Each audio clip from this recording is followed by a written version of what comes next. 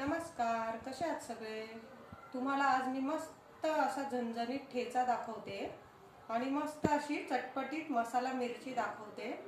चला तर मग आपण रेसिपी सुरू करूया. चला आता आपण मिरचीचा ठेचा करून घेऊया.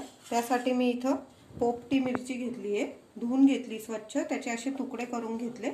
आणि आपल्या मिर ठेच्याला छान तिखट चव यावी म्हणून मी इथं लवंग्या मिरच्या पण घेतल्या आहे चार पाच घेतल्या आहे त्याचे पण असे धुवून स्वच्छ पुसून घेतले आणि तुकडे करून घेतले.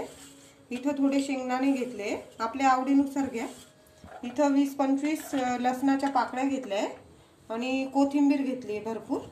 कढईत मी एक चमचाभर तेल टाकलं आहे. त्यात आपले शेंगदाणे टाकूया.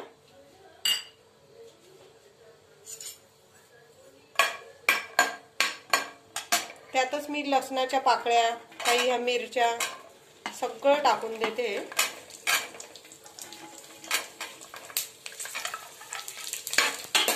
आणि हे आपल्याला मस्त असं मिरचीचा कलर बद बदलत नाही तोवर आपलं परतून घ्यायचं आहे आपली मिरची शेंगदाणे लसूण छान परतले गेलं आहे.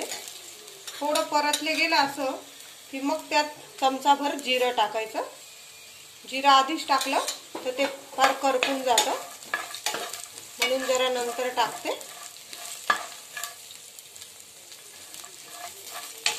छान अजून परतून घेते मी. बघा मिरच्यांचा कलर पण छान बदलला आहे आपला. मस्त छान इतका वास सुटलाय. आणि ह्या मिरच्यात भाजतोय तेव्हाच आपण यात मीठ टाकून देऊया. म्हणजे सगळीकडे मीठ लागून पण जातं. मीठ जरा जास्त टाकलं तर आपला ठेचा भरपूर दिवस टिकतो पण. आणि मीठ टाकल्यानंतर ही कोथिंबीर पण मी यातच टाकून देते. पण छान असं परतून घेते. याने छान चव येते एकदम. कोथिंबीर टाकल्यानंतर पण मी दोन मिनिटं छान हलवून घेतलंय. गॅस एकदम कमी ठेवलाय मी. म्हणजे आपला तिखट धूर तर सुटतोच थोडासा. आता मी हे खाली काढते गॅस बंद केला मी. थोडं दोन मिनटं याला थंड होऊ देऊया आपण. जास्त पण थंड नाही करायचं. गरम गरम असताना कोंबट असतानाच आपण कांडायचं याला. आपलं खुड्याचं वाटण छान दोन मिनटं थंड झालं आहे. आता आपण मिक्सरमध्ये न टाकता खलबत्ताच मी काढणार आहे आता हे. कारण खलबत्त्यात काढल्यावर खुड्याची चव वेगळीच असते. खलबत्ता नसेल तर मिक्सरमध्ये पण वाटण केलं चालेल. फक्त मिक्सर अगदी चालू बंद करायचं.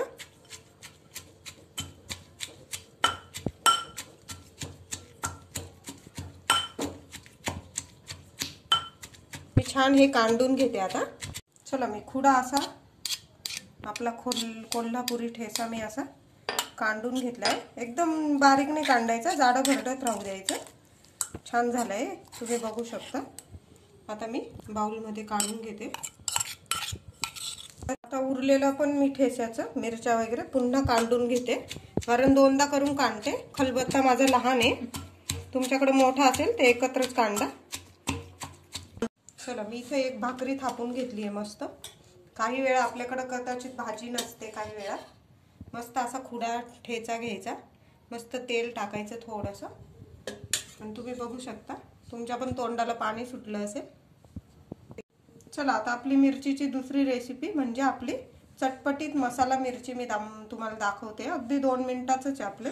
चला मी कढई गरम करायला ठेवली आहे तिथं मी एक चमचा तेल टाकलं आहे एक चमचा तेल पुरेसं होतं. आता मी त्यात आपली मिरची टाकून देते. मिरची मी धुवून घेतली स्वच्छ. त्याचे दोन भाग करून घेतले कापून. त्यातल्या थोड्याशा जेवढ्या बिया निघाल्या तेवढ्या काढून घेतल्या. तोंडावर बिया वगैरे उडत असेल तुमच्या मिरचीच्या तर दोन मिनटं अगदी दोन मिनटं पण नाही एखादा मिनटं असं झाकण ठेवून द्यायचं. चला एखादा मिनटं झाला आहे आपली मिरची पण तुम्ही बघू शकता. अगदी छान परतली गेलेली आहे.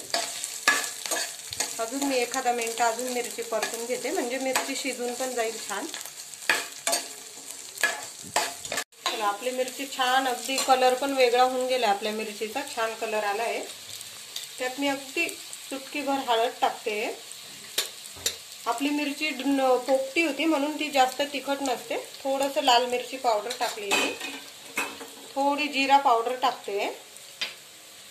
थोडी आपली चाट मसाला नाही तर आमचूर पावडर घेऊन घ्या. ही आमचूर पावडर टाकली मी. आणि हे छान मिक्स करूया. मीठ टाकूया चवीनुसार. आणि आपलं छान मिक्स मिरची मिक्स करून घेऊया ही. मिरची मी छान परतून घेतली आहे. तुम्ही बघू शकता इतकी छान झाली आहे. आणि मी इथं अर्ध्या लिंबाचा रस घेतला आहे तो टाकते. आणि छान परतून घेते अजून. चला लिंबाचा रस टाकल्यावर मी अजून एक मिनटंभर परतून घेतली आहे. आपली मिरची तयारच आहे. ही मिरची जर तुम्ही जेवणात वाढली ना तर नक्कीच घरातले सगळे खुश होते आपली मिरची रेडी आहे. मी आता प्लेटमध्ये काढून घेते. कसा वाटला मग झणझणीत ठेचा आणि मसाला मिरची? चटपटीत अशी मसाला मिरची. तुमच्या जेवणाची नक्कीच लज्जत वाढवणारी ही दोन रेसिपी मिरचीची. नक्की करून बघा. आजची रेसिपी आवडली असेल तर प्लीज लाईक करा शेअर करा. आणि कमेंटमध्ये मला नक्की कळवा आजची रेसिपी कशी वाटली. आणि सबस्क्राईब करायला विसरू नका. धन्यवाद.